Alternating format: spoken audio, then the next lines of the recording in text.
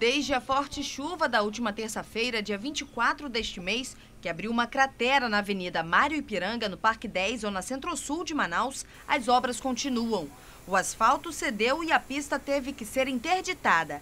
Há seis dias, as pessoas que precisam passar pelo local encontram dificuldades na travessia desse trecho. Eu passo todo dia na ida e na vinda. E essa dificuldade que você está vendo aí, ó, vou passar por onde agora?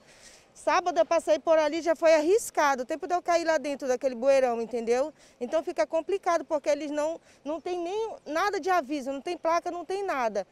E para mim só dá para ir por aqui, porque se eu tiver que fazer a volta andando por lá, fica mais complicado. A avenida é uma das principais vias da cidade e dá acesso ao aeroporto Eduardo Gomes. Enquanto as obras não forem concluídas, quem precisar acessar o local deve utilizar os desvios feitos pelo Instituto de Mobilidade Urbana.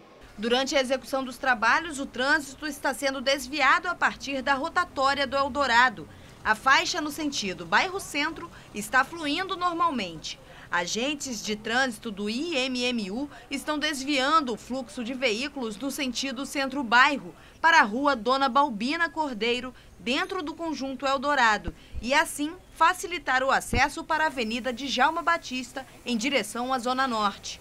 Em nota, a Secretaria Municipal de Infraestrutura informou que está na área realizando os serviços para que a via seja liberada com máxima urgência e enquanto os serviços de recuperação da via estiverem sendo executados, a área vai permanecer interditada e que não há risco iminente de desabamento.